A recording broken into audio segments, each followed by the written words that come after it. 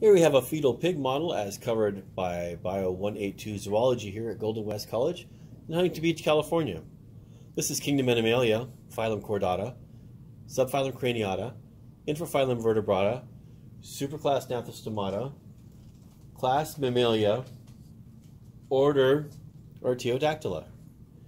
And we'll start off by looking at just a couple of structures here on the pig's left-hand side. We're looking at the esophagus, and the submaxillary gland and the thymus gland.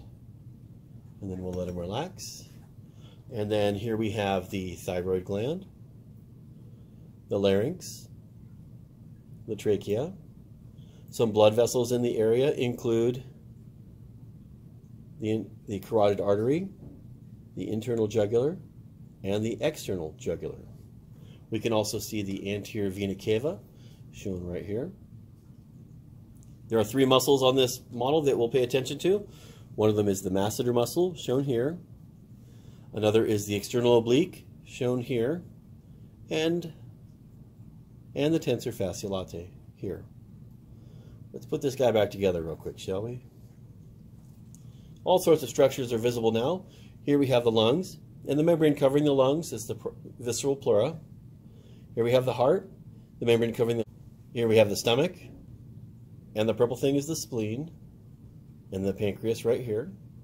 At the end of the stomach, we have the pyloric valve leading to the duodenum, leading to the beautiful, shiny small intestine.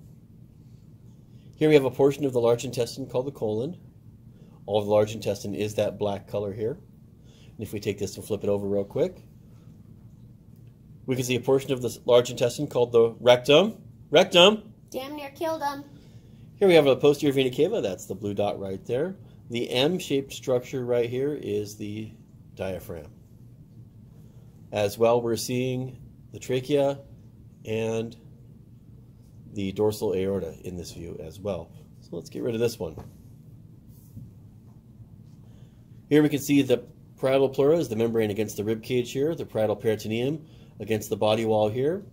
We have our dorsal or descending, dorsal is better way, uh, aorta, which branches many times. The first one of the first branches here goes into the kidney. That's called a renal artery, and that's coupled by a renal vein, which is the blue one here.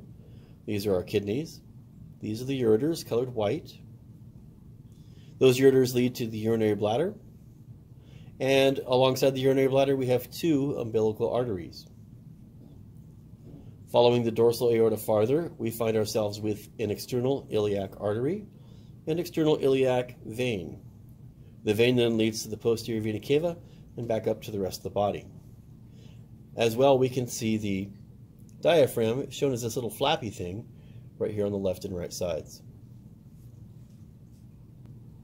We have rearranged our pig. It's now laying on its ventral surface. We can see the ear flap here called the pinna. And then these are the nostrils. Vibrissae are not visible on this model, but they would be the whiskers around the nose. This is the tongue, and at the edge of the tongue we have little structures called fungiform papilla. And then the roof of the mouth, right up here, the hard part of the roof of the mouth is called, the hard palate. Here we have a focus on the mammalian brains. On the left-hand side we have the rabbit brain. On the right-hand side we have the dog brain. We're looking at just a few basic pieces of anatomy here. There's our olfactory lobe of our rabbit and our cerebrum of our rabbit. There's the cerebellum, and if you look real close there, you can see a grayish blue thing. That's the optic lobe, and then the medulla oblongata down below. Let's take a look at the dorsal surface of our dog brain while we're here. Here's our olfactory lobe, right here, and there's our cerebrum. They're so smart. Our cerebellum, and then our medulla oblongata down below. Let's flip these guys around, shall we? Oh, and there they are, flipped around very nicely. Here we have our pituitary gland shown here and here. And then here's our pons, here and here. There's some more medulla oblongata. And then we can see the optic nerves shown here and here. The optic chiasm right here, just kind of underneath where the two optic nerves will cross. Take a look here, you can see that blue-gray right there, and a blue-gray deep in there, and those are the optic lobes.